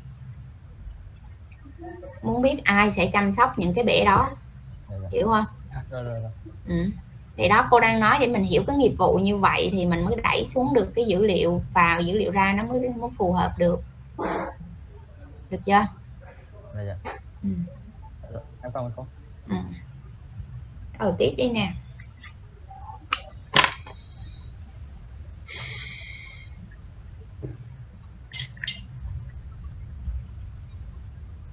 Dạ cô cô cô cho em ờ, sửa bài lại một lần nữa không cô? Em uh, làm một cái chủ đề khác. á. nãy làm chủ đề gì bữa làm chủ đề gì Bữa em làm một cái app ờ, app quản lý học tập đó cô, nhưng mà hôm nay em uh, làm một chủ đề khác đó cô. ok cứ xô lên Dạ. Chủ đề này thì liên quan tới công việc của gia đình em luôn ạ, cho nên em cũng rõ. Là app về một cái app về vận chuyển vận chuyển hàng hóa giữa một giữa một ờ, chủ hàng và những những người mà chủ xe cô. Có nghĩa là ở đây em chỉ áp dụng cho container hoặc là xe tải thôi. Thì đầu tiên á điều kiện tiên quyết của tụi em á Khoan, là từ từ từ từ. Nói nhanh quá. Chủ hàng. Dạ chủ hàng ạ, và chủ xe. Và chủ xe ạ. rồi từ từ. tại vì tại vì á, thông thường rồi, từ từ từ từ. Dạ. để cô hiểu cô hiểu cô mới hướng dẫn em nói đúng được. Và đây là nghiệp vụ rất gần với em đúng không Dạ vâng em ạ. thì hiểu rồi cho nên em từ từ em nói Ờ, cô cô hỏi từ từ để cô biết để nó chính xác á. Bây giờ như vậy thì người dùng sẽ là chủ chủ các cái xe đúng không? dạ đúng rồi dạ đúng. rồi người dùng thứ hai nữa sẽ là chủ các cái hàng hóa. Dạ chủ hàng dạ. Chủ hàng đó đúng không? Dạ vâng. Rồi ok là đó là hai đối tượng. Vậy tài xế có tham gia vào không Dạ, em nghĩ tài xế là sẽ do chủ xe quyết định không à tài xế do chủ xe quyết định luôn nhưng cho mà nên là nếu- mà em nghĩ là không nên bỏ vô cái app này tại vì app này nó chỉ là vận chuyển liên quan tới hàng hóa thôi chứ mà bỏ vô thì nó sẽ rối nữa. Nhưng mà nhưng mà bọn không phải. Nhưng mà nếu như họ họ cài cái app đó mà họ họ nhận biết được rằng là à ngày mai họ sẽ chở từ đâu tới đâu nó cũng tốt chứ có sao đâu dạ dạ có cô. Cái đó là có một cái chức năng là ở trong cái order là mình sẽ biết là vận chuyển từ đâu đến đâu nhưng mà sẽ thông tin của thông tin của tài xế là người người mà lái xe thì em nghĩ là do chủ xe tự quyết định. À như vậy thì vậy thì chủ xe sẽ báo cho tài xế biết là đi từ đâu đến đâu thôi. Dạ vâng. Như vậy tài xế không tham gia vào cái hệ thống của mình.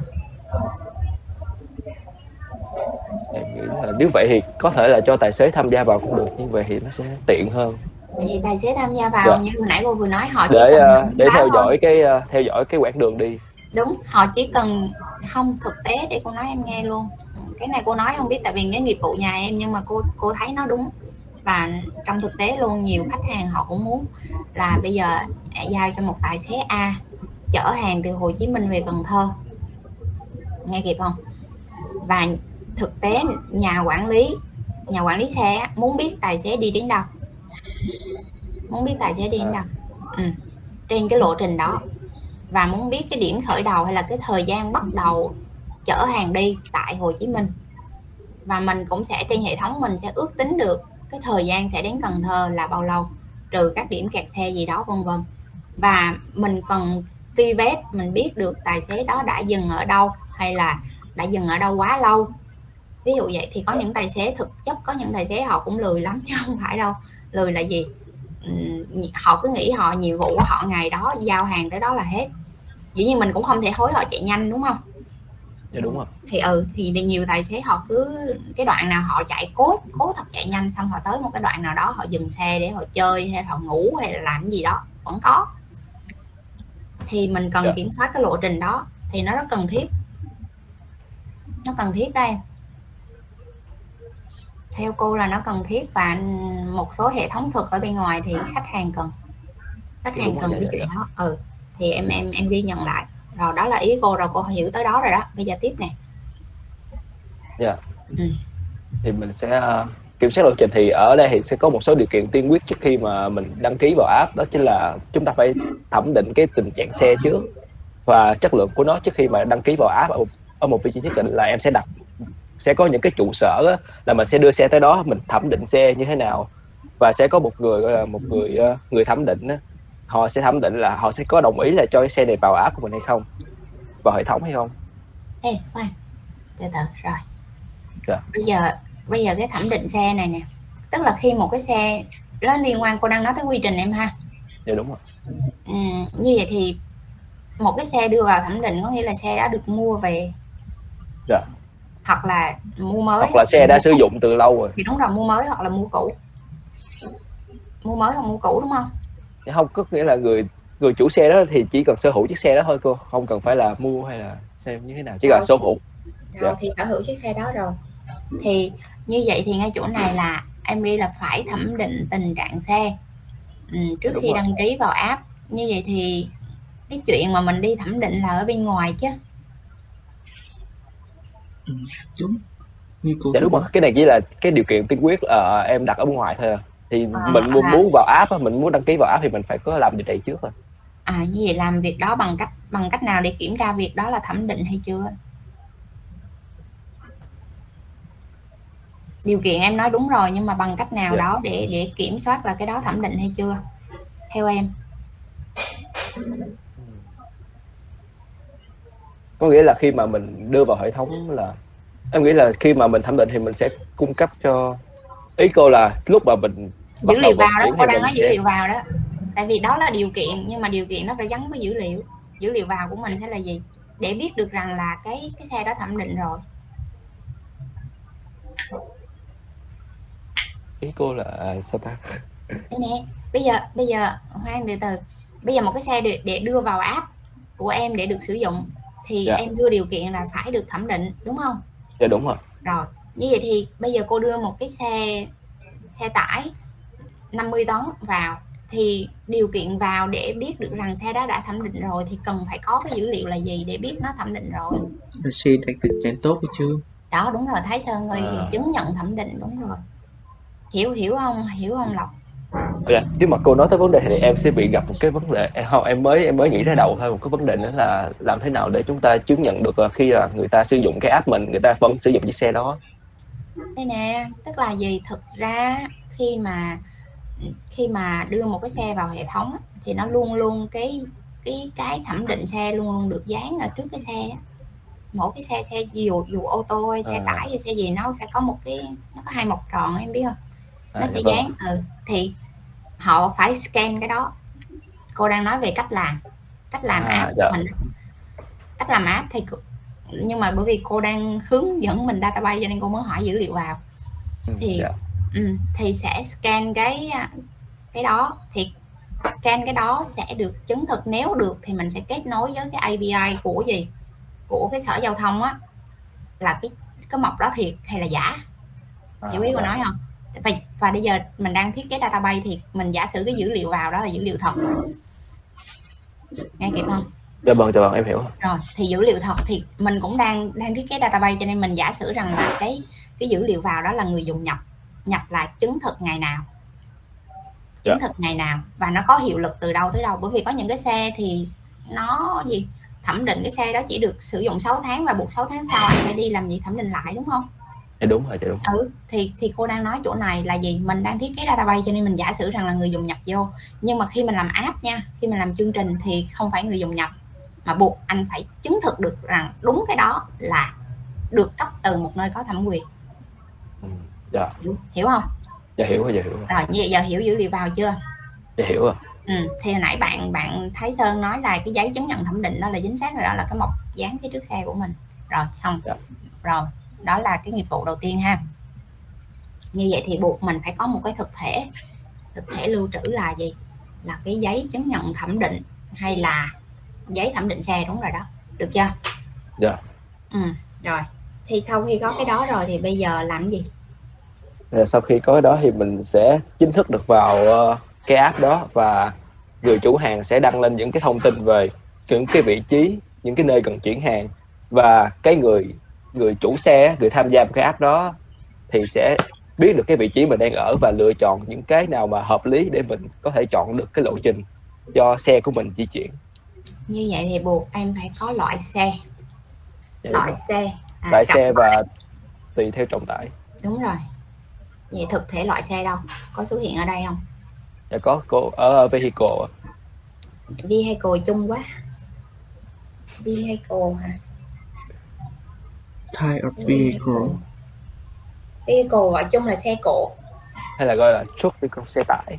Không. Dạ. stock là một loại xe một dữ liệu của loại xe. Mình ghi là type of vehicle thì được. Ừ. Vehicle. mình bản thân cái từ vehicle không có chữ r.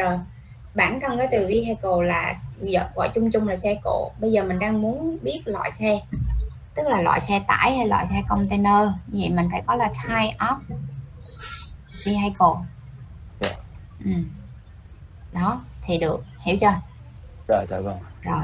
Thì một cái loại xe nó sẽ có nhiều chiếc xe đúng không? Dạ đúng rồi. Ừ thì lúc đó mình sẽ có một thực thể nữa là vehicle. À, dạ. phải không? Dạ đúng rồi dạ đúng. Ừ. rồi. Thì có nghĩa là thực thể vehicle nó sẽ liên kết với type of vehicle. Đúng đúng. Để mình Dạ. biết mình biết nó loại nào loại nào thì liên quan đến hàng hóa nào cần chở? Container hay là truck đúng không? Vậy nếu mà ở đây thì mình sẽ cần một cái là loại hàng hóa đúng không tại vì đúng. mình có loại đúng dạ, loại chính xe. xác, chính xác luôn loại hàng hóa. Cái hệ thống này nó không nhỏ đâu nha. Loại hàng hóa. Ừ, tuy nhiên cô vẫn khuyến khích em làm bởi vì nó em nói nó gắn liền với với công việc nhà em thì cô khuyến khích. Ừm, loại hàng hóa hàng hóa rồi ok Rồi và tiếp theo thì khi mà mình đã tìm được chuyến xe hợp lý hoặc là những cái loại hàng hóa mình cần hợp lý chuyến xe đó rồi thì mình sẽ tiến tới là một cái order một cái hóa đơn. Từ từ từ từ. Khoan. Bây giờ cô là một hồi nãy giờ là đang nói cái chỗ bên phía mình. Bên phía mình sẽ có là à, type of vehicle vehicle. Rồi à, type of goods. Chưa có chữ S nha. Dạ. Phía sau nữa ừ. Rồi goods rồi. Rồi đó là bên ủa ừ, goods là hàng hóa. Bên mình chỉ có là hàng hóa là của bên ờ, chủ bên hàng. kia bên Dạ. kia. Bên kia rồi. Nhưng mà mình cần biết là cái xe của mình sẽ chở được loại hàng hóa nào. Như vậy thì mình có quyền thêm cái loại hàng hóa vào đúng không? Mình đúng không? Cô đang nói bên phía mình bên phía nhà cung cấp xe nè có quyền thêm loại hàng hóa không? Có chứ. Cô em nghĩ là để cho nó đơn giản cho bên chủ hàng dễ kiểm soát cô thì là em nghĩ là chủ hàng sẽ đưa lên giống như là chủ hàng cần một chiếc xe tải 5 tấn và chứa những cái hàng này ở vị trí tới vị trí này thì customer nào sẽ đáp ứng được nhu cầu này thì sẽ đăng ký lên thôi cô.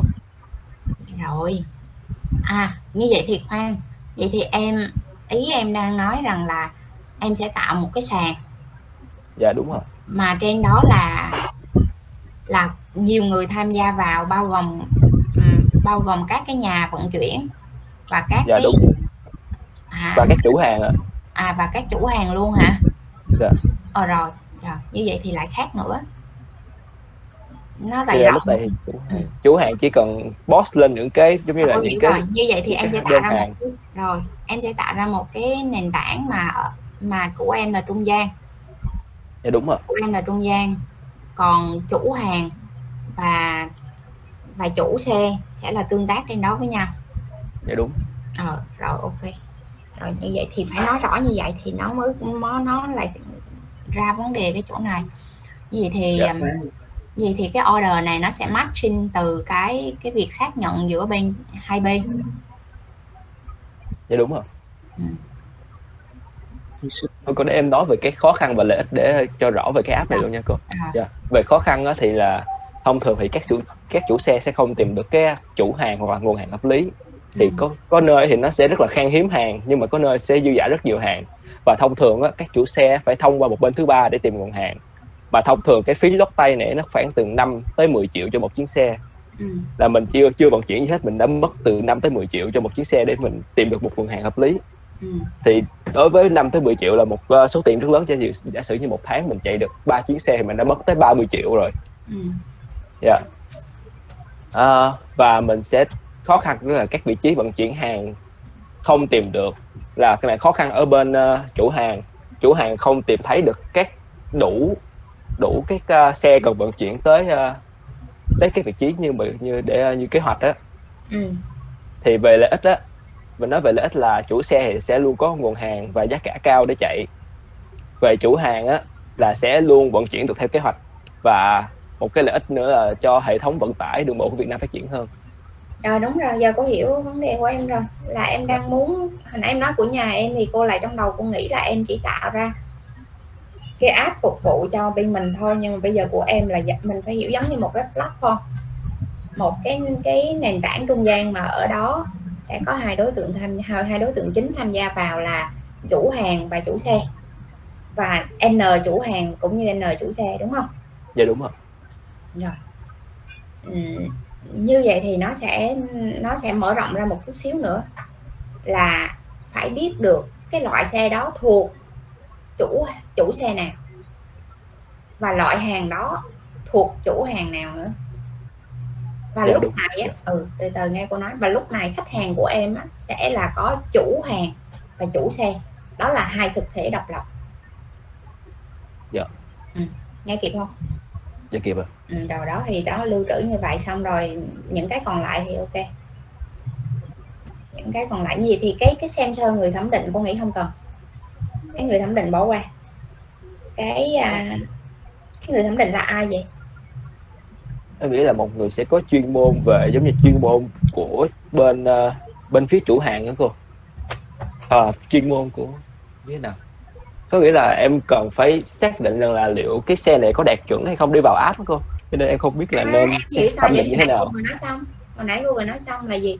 Bây giờ dạ. app của là em giống như là mình có một cái giấy thẩm định từ hệ thống giao thông vận tải Việt Nam. Đúng. app Dạ. của em chỉ chấp nhận cho những người đăng ký xe vào hệ thống mình.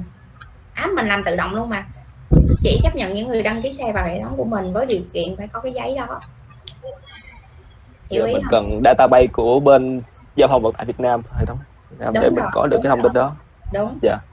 Còn bây giờ á, bây giờ mình đang cho input vào. Hiểu không? Dạ vâng. Ừ. và mình giả sử là được thẩm định rồi. Dạ. Ừ. hiểu chưa? Dạ vâng ạ. rồi vậy hiểu vấn đề rồi đúng không? Dạ hiểu rồi ok ý tưởng hay ừ, ý tưởng vẫn, vẫn rất là hay và thiết kế ra đi rồi cô sẽ sửa tiếp ha dạ em cảm ơn Rồi. cô ạ. ừ. à, mình giải lao chút xíu mấy em nha giải lao chút xíu 15 phút mình quay lại ha mấy em ha